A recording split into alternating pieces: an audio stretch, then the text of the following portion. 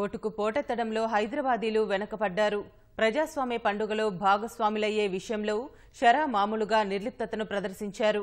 ప్రస్తుతం నమోదైన పోలింగ్ శాతం గత ఎన్నికల కంటే కాస్త మెరుగనిపించినా అది నామ మాత్రమే సామాజిక మాధ్యమాల్లో ఉత్సాహం చూపే జనం సమాజం మధ్యకు వచ్చి గురుతర బాధ్యతను నిర్వర్తించాల్సిన సమయంలో మిన్నకుండిపోయారు.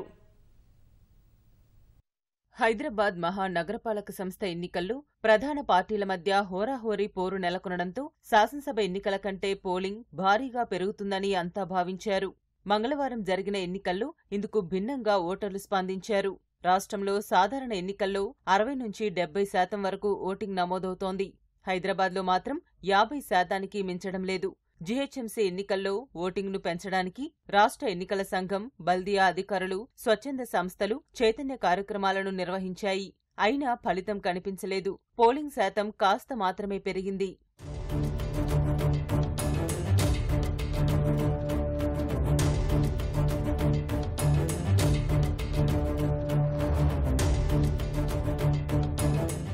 జీహెచ్ఎంసీలో పోలింగ్ శాతం అంతగా పెరగకపోవడానికి కారణాలు కనిపిస్తున్నాయి.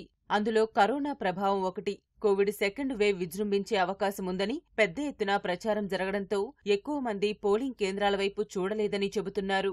వరుస సెలవులు వలసలు కూడా పోలింగ్ శాతాన్ని దెబ్బతీశాయి. సాఫ్ట్వేర్ ఉద్యోగులు పోలింగ్కు డుమ్మా కొట్టినట్లు చెబుతున్నారు.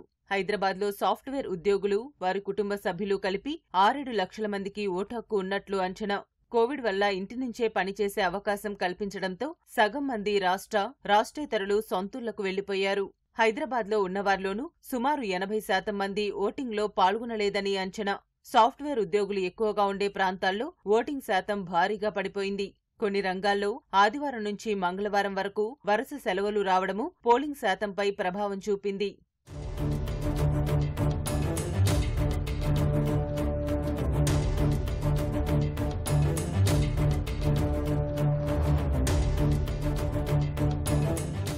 కరోనా నేపథ్యంలో లాక్డౌన్ విధించడంతో హైదరాబాద్ నుంచి సుమారు పదిహేను లక్షల మంది కార్మికులు తమ సొంత రాష్ట్రాలకు వెళ్ళిపోయారు ఇలా వెళ్ళిన వారిలో యాభై శాతం మంది తిరిగొచ్చినా మిగిలిన వారు అక్కడే ఉండిపోయారు.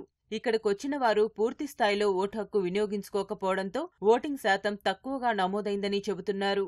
చాలా కాలనీల్లో పోలింగ్ కేంద్రాలు ఉదయం నుంచి ఖాళీగానే కనిపించాయి. ఎక్కువ ప్రాంతాల్లో యువత కంటే వృద్ధులే అధికంగా ఓటు హక్కు వినియోగించుకున్నారు. మహానగరంలోని చాలా బస్తీల్లో అరవై నుంచి డెబ్బై శాతం మంది ఓటు వేశారు.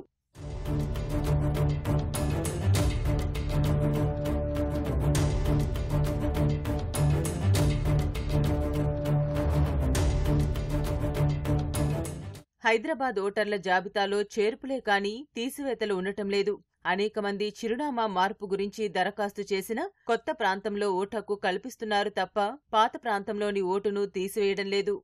దీంతో వాస్తవం కంటే ఎక్కువ సంఖ్యలో ఓటర్లు కనిపిస్తున్నారు. హైదరాబాద్లో ఉంటున్న ఏపీకి చెందిన వారిలో పలువురికి ఇక్కడా ఓటు ఉంది అక్కడా ఉంది. ఇక్కడ ఓటు వేస్తే అక్కడ తీసేస్తారేమో అన్న ఉద్దేశంతో ఎక్కువ మంది ఓటింగ్లో పాల్గొనటం లేదని చెబుతున్నారు. నగరంలోనే రెండేసి ప్రాంతాల్లో ఓటు ఉన్నవారు వేలల్లో ఉన్నారు. రీడూప్లికేట్ సాఫ్ట్వేర్ను ఉపయోగించి అలాంటివి తొలగిస్తే వాస్తవంగా నగరంలో ఓటర్లు ఎంతమంది ఉన్నారన్నది తేలుతుంది. దీనిపై అధికారులు చర్యలు తీసుకోవడం లేదు.